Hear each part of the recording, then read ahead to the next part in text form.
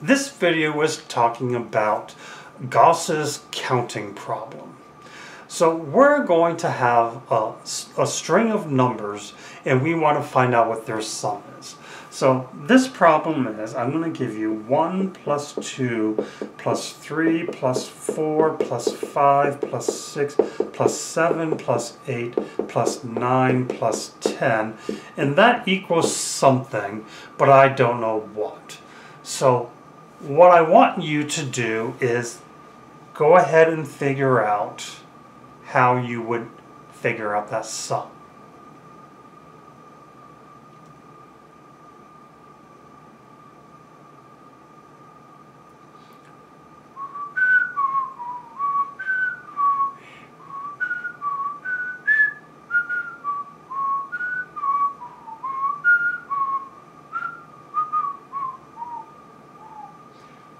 I'm assuming you're all working on this. So, one of the ways that people would do is they'll say, well, 1 plus 2 is 3, plus 3 is 6, plus 4 is 10, plus 5 is 15, plus 6 is 21, plus 7 is 28, plus 8 is 36, plus 9 is 45, plus 10 is 55. So that's one way of doing this. And we have a manageable number of numbers. We only have 10 numbers, so it's not that out of the realm of adding them up. But what if we have to add up to a 100 or a 1,000? And then somewhere in the way you're going to do 1 plus 2 plus 3 plus 4 plus 5 plus 6 plus... Oh, look, at there's a squirrel outside. Oh, wait, did I add 6? Well, 6 plus 7 plus 8, and then you get messed up because you lose count of what you're counting.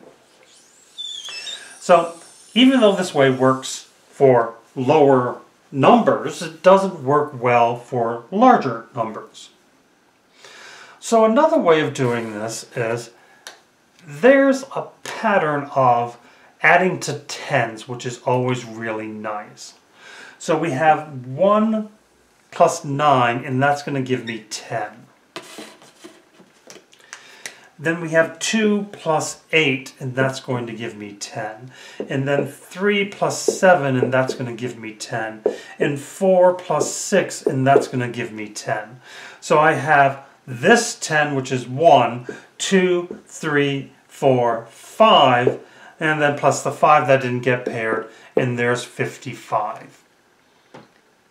So that's another way that you could look at this and say, okay, I can add these numbers up by pairing them together and then making the addition easier.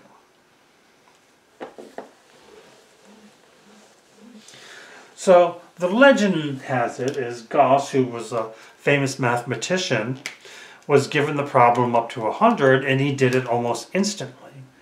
But this is how he solved that problem. So you have 1, 2, 3, 4, plus 5, plus 6, plus 7 plus 8 plus 9 plus 10 is equal to some sum x. Now, we're kind of using that idea of making nice numbers by putting nice numbers together. Well, Gauss didn't really care if those nice numbers were 10 or 11 or whatever. So what he decided to do was, if I reverse the numbers, 1 plus 2 plus 3 plus 4, whoops, I'm off a little bit, plus 3 plus 4 plus 5 plus 6 plus 7 plus 8 plus 9 plus 10, it's the same sum. So now what we're going to do is if we add up and down here,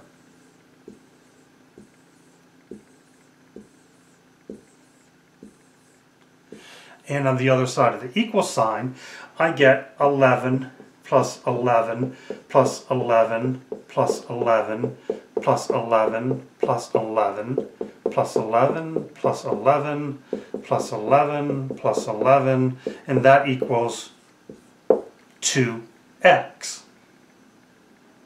So how many 11s do I have?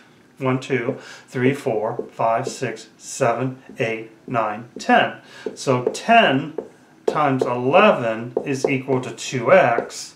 So x is equal to 10 times 11 divided by 2, which is 5 times 11, which is 55. Now, this may seem more complicated to do than just adding them up one by one, but that's because we have a small manageable number of numbers. Let's say we were going to do this and we were going to do the sum up to 100.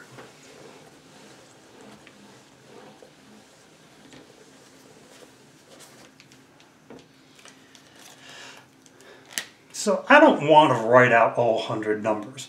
I'm just going to go 1 plus 2 plus 3 plus 4 dot dot dot dot dot plus dot dot dot dot dot plus and then I'll just start at 98 plus 99 plus 100 and that equals to x.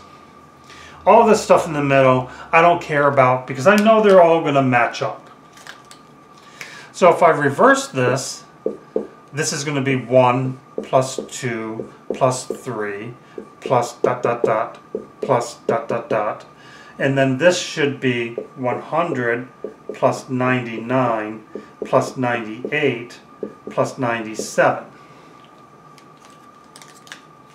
So now I'm doing the same thing. I'm adding the two numbers above each other.